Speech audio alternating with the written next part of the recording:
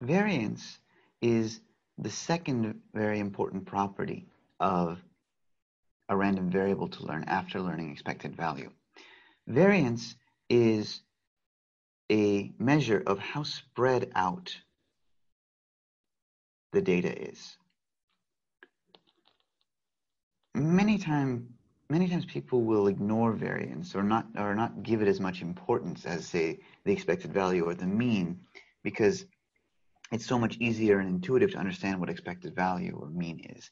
But in reality, in my opinion, variance is the most important property of a random variable because variance is where everything where is variance defines whether or not a random variable is interesting or even worthwhile to pay attention to. The mean can be whatever it is. It's not that important. The expected value is just the expected value. But variance is where change occurs in a random variable. What does that mean? It means if the variance is low, or in the worst case, zero, you don't even have a random variable. It's not interesting to look at because you pretty much, it's not random. You know what's going on. If the variance of a of a random variable, let's say our variance of a random variable x is equal to zero, then, well, nothing's happening.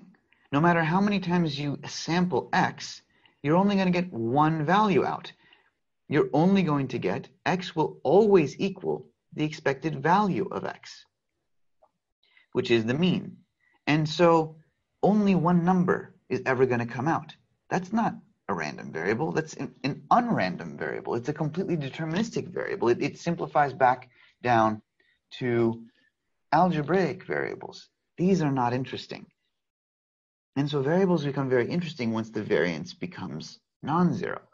And when you're dealing with multidimensional systems, when you're dealing with, with data sets that have multiple dimensions in them, what you really are very interested in is finding the dimensions in the random variables when you model them where the variance is large. Because when the variance is large, that means there's a lot of activity going on there. That's where the interesting change within the data is happening. And so variance is critical. A good chunk of data science and modeling and statistics is all about figuring out ways in which your model can capture the most amount of variance that's present in the data set. And if you can do that, then it means you're actually building a very good model.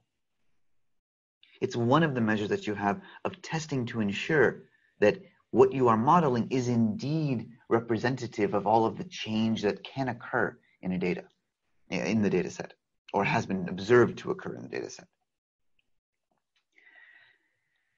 The idea, though, of variance is relatively simple, right? Let's say that we have two data sets here. We have a yellow distribution, a yellow data set, and it looks something like this.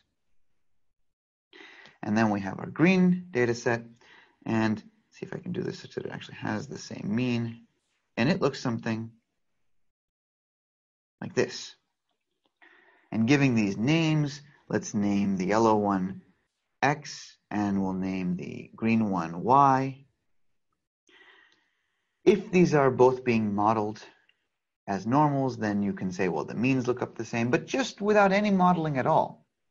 You can just say by this definition that variance is how spread out a data set is or how spread out a random variable is. If X is the random variable without any actual following a model, but just X is the random variable that describes the distribution and Y is the, the random variable that describes this distribution, what can we conclude? We can conclude the variance of x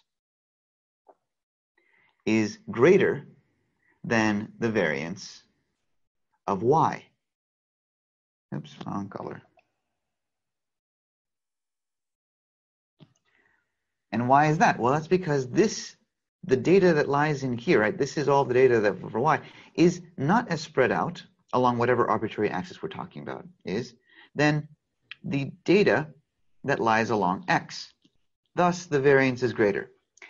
Variance can, can, can vary, no pun intended, between zero, right, very uninteresting, to infinite. It's just a mathematical number that represents how spread out the data is. That's, That's all, that's all you want to think about for now.